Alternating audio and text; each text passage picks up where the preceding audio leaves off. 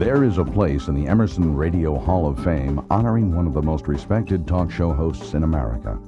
For over 36 years, this man has interviewed some of the most famous names in politics, business, sports, cinema, and the arts. He holds the world's record for the most national radio hours logged, and according to the Guinness Book of World Records, has completed over 30,000 interviews. This man is the recipient of numerous awards, including the Peabody, the National Association of Broadcasters and Radio Award, the Jack Anderson Award, as well as the ACE Award for Excellence in Cable Television for four years consecutively. As the host of CNN's top rated program, Larry King Live, he reaches an audience of over 3 million daily.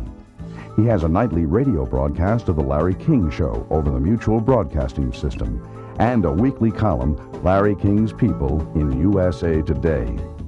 Named by the Washington Journalism Review as the best radio talk show host on the air today and the author of five books, please welcome Larry King.